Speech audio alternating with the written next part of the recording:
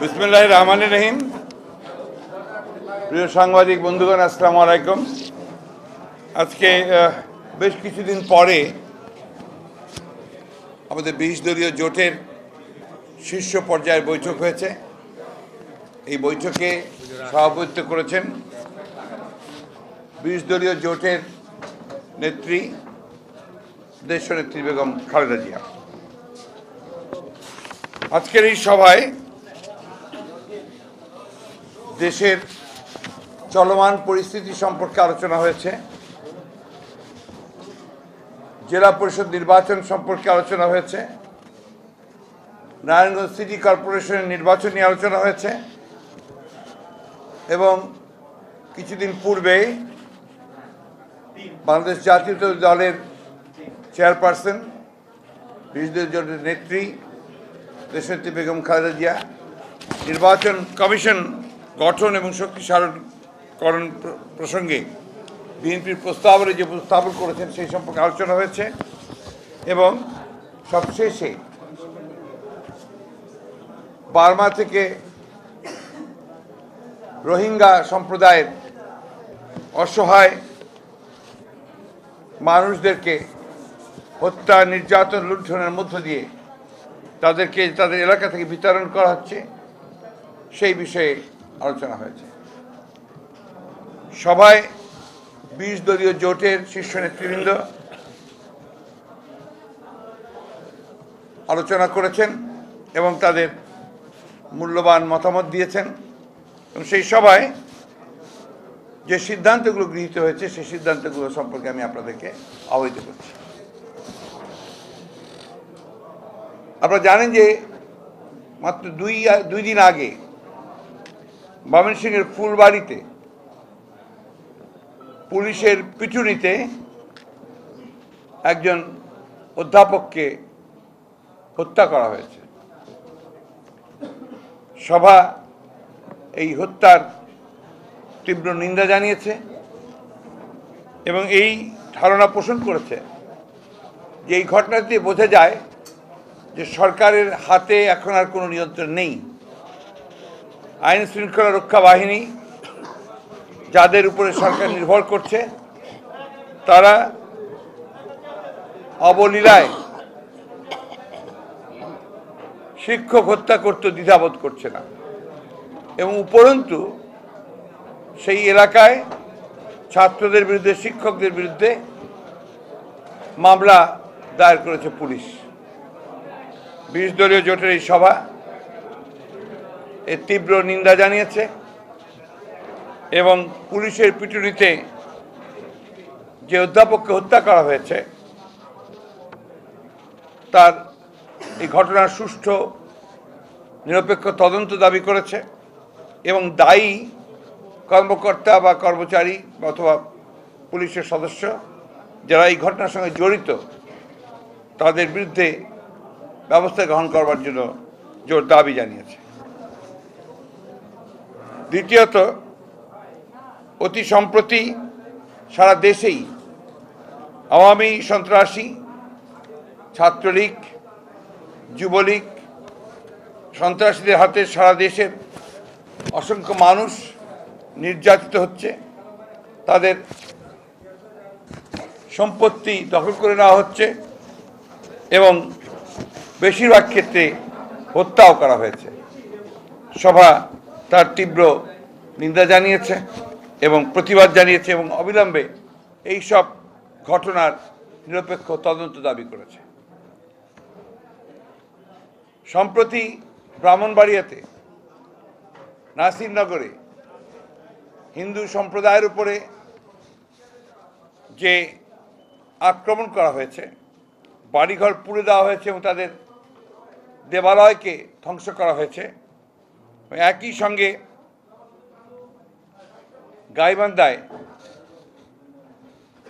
Sugar মিলে ফার্মে ওইখানকার বাসিন্দা আদিবাসী যারা সাঁওতাল, তাদেরকে উচ্ছেদ করে, তাদের বাড়িঘরকে ধ্বংস করে, প্রায় চারজনকে হত্যা করে, তাদেরকে সেখানে বিতরণ করবার জন্যে একজন আওয়ামী লীগের দলভুক্ত সংসদ সদস্য এবং ইউনিয়ন পরিষদ চেয়ারম্যানের নেতৃত্বে এই হত্যাকাণ্ড ঘটেছে এবং যেটা ইতিমধ্যেই সারা দেশে তীব্র প্রতিবাদ এবং আলোড়নের সৃষ্টি করেছে। এই সভা, এই ঘটনার তীব্র, ঘটনাগুলোর তীব্র নিন্দা জানিয়েছে এবং অবিলম্বে যারা জড়িত ওই ঘটনাগুলোর সঙ্গে তাদেরকে আইনের আওতায় এনে তাদেরকে বিচারের আওতায় আনার জন্য জোর দাবি জানাচ্ছে। আমরা সবাই জানি যে সারা দেশে এই সরকারের বিরোধিতা যারাই করছে, তাদের বিরুদ্ধে মিথ্যা মামলা রুজু করা হচ্ছে এবং একই মামলায় শত শত হাজার হাজার মানুষকে আসামি করা হচ্ছে। এবং এর থেকে, এই মিথ্যা মামলা থেকে তিনবারের প্রধানমন্ত্রী, গণতান্ত্রিক আন্দোলনের সবচেয়ে বড় ত্যাগী নেতা, দেশনেত্রী বেগম খালেদা জিয়াও বাদ পড়েননি। দেশনেত্রী বেগম খালেদা থেকে শুরু করে বিশ দলীয় জোটের নেতৃবৃন্দ এবং সারা দেশের সকল পর্যায়ের নেতৃবৃন্দকে এবং কর্মীদেরকে এই মিথ্যা মামলায় জড়িত করে আজকে বাংলাদেশের গণতন্ত্রকে পুরোপুরি ধ্বংস করে ফেলা হচ্ছে। এই সভা এই পরিকল্পিতভাবে গণতন্ত্রকে হত্যা করবার যে ষড়যন্ত্র, যে চক্রান্ত এবং একদলীয় শাসন ব্যবস্থা প্রবর্তন করবার যে হীন উদ্দেশ্য তার বিরোধিতা করছে, নিন্দা করছে এবং অবিলম্বে মিথ্যা মামলাগুলো প্রত্যাহার করে সকল রাজবন্দীকে মুক্তি দেওয়ার জোর দাবি জানাচ্ছে। বিশ দলীয় শীর্ষ নেতৃবৃন্দ, জেলা পরিষদ নির্বাচন বর্জন করবার সিদ্ধান্তকে স্বাগত জানিয়েছেন এবং সর্বসম্মতভাবে তারা জেলা পরিষদ নির্বাচন বর্জন করবার যে সিদ্ধান্ত, তার সঙ্গে তারা একাত্মতা ঘোষণা করেছেন। এই সভা নারায়ণগঞ্জ সিটি কর্পোরেশন নির্বাচনে বাংলাদেশ জাতীয়তাবাদী দলের মনোনীত প্রার্থী এক অ্যাডভোকেট শাখওয়াত হোসেনকে পূর্ণ সমর্থন প্রদান করছে। বিশ দলীয় জোটের পক্ষ থেকে অ্যাডভোকেট শাখওয়াত হোসেনকে পূর্ণ সমর্থন প্রদান করছে। সভা, নির্বাচন কমিশন সম্পর্কে তাকে শক্তিশালী করা এবং গঠন সম্পর্কে বিরোধী নেত্রী বিএনপির নেত্রী দেশনেত্রী বেগম খালেদা জিয়া যে প্রস্তাবাবলী উপস্থাপন করেছেন, তাকে তারা অত্যন্ত সময় সময়োপযোগী বাস্তবসম্মত এবং অত্যন্ত গ্রহণযোগ্য বলে অভিহিত করেছেন এবং তাকে সেই জন্য ধন্যবাদ জানিয়েছেন। সেই সঙ্গে এই প্রস্তাবের উপরে জনমত গড়ে তোলবার জন্য তারা আহ্বান জানিয়েছেন একই সঙ্গে তারা নির্বাচন কমিশনের এই প্রস্তাবের সঙ্গে সঙ্গে নির্বাচনকালীন সহায়ক সরকারের ব্যাপারেও যে বক্তব্য রাখা হবে ভবিষ্যতে সেই বিষয়ে তারা তাদের মতামত প্রকাশ করেছেন। সব শেষে সভা দেশনেত্রী বেগম খালেদা জিয়াকে ধন্যবাদ জানিয়েছেন। তার সময়োচিত এবং অত্যন্ত রাষ্ট্রনায়কোচিত একটি পদক্ষেপ নেওয়ার জন্যে নির্বাচন কমিশন সম্পর্কে এই প্রস্তাবলী এই দেশের ইতিহাসে নিঃসন্দেহে যে গণতান্ত্রিক রাজনীতির ক্ষেত্রে একটি ইতিবাচক ভূমিকা পালন করবে এবং সমঝোতার উপর ভিত্তি করে বর্তমান রাজনৈতিক সংকটকে নিরসন করবার জন্য একটা ক্ষেত্র প্রস্তুত করেছে বলে সভা মনে করে এবং সেই জন্যই আগামী দিনগুলোতে এই প্রস্তাবগুলির উপরে জনমত তৈরি করে নির্বাচন কমিশন যেন সেইভাবে গঠন করা হয় সেই জন্যে সভা একমত হয়ে তারা এই বিষয়ে জনমত গঠন করবার জন্যে প্রস্তাব নিয়েছেন। এবং একই সঙ্গে মহামান্য রাষ্ট্রপতির কাছে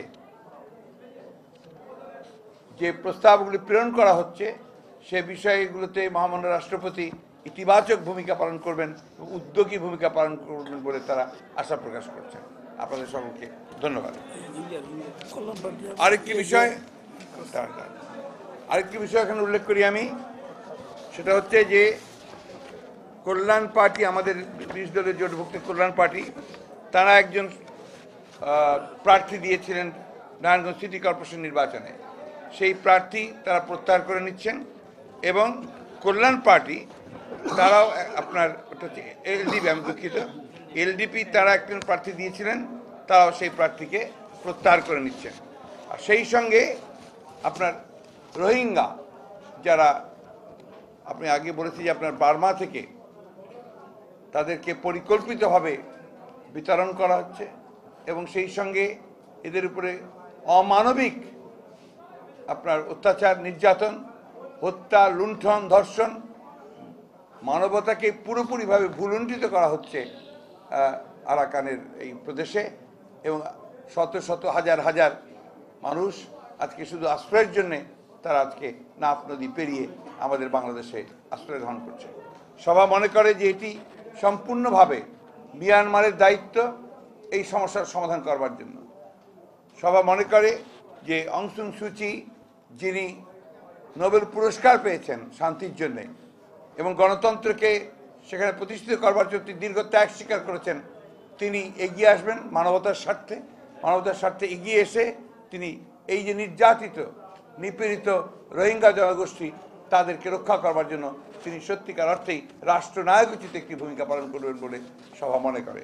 এবং বিশ দলীয় জোট রোহিঙ্গাদেরকে আশ্রয় দেওয়ার জন্য সরকারের প্রতি আহ্বান জানাচ্ছে, মানবিক কারণে আশ্রয়ের জন্য আহ্বান জানাচ্ছে এবং এই বিষয়টি মিয়ানমার এবং জাতিসংঘের ধরে সমস্যার সমাধান করার জন্য জোর দাবি আমাদের পুরো পুরো বিষয়ই আলোচনা হয়েছে। আমরা রাষ্ট্রপতির কাছে সময় চেয়েছি, আমরা এখনও সময় পাইনি। আমরা এখনও আশা করছি যে আমরা সময় পাবো। অন্যথায় আপনার যেটা প্রচলিত নিয়ম আছে, সেই নিয়ম অনুযায়ী আমরা আমাদের প্রস্তাবগুলি তার কাছে পৌঁছে দেবো। আমাদের তো ক্যাম্পেইন শুরু হয়ে গেছে। বিশ দলীয় হবে, দু একদিনের মধ্যে আমরা মহাসচিব পর্যায়ে বৈঠক হবে করে আমরা আপনার মোডাস অপারেন্ডি ঠিক করে আমরা আলোচনা শুরু করব ক্যাম্পেন এটা সময় বলবে, সময় দেওয়া যাবে। Thank you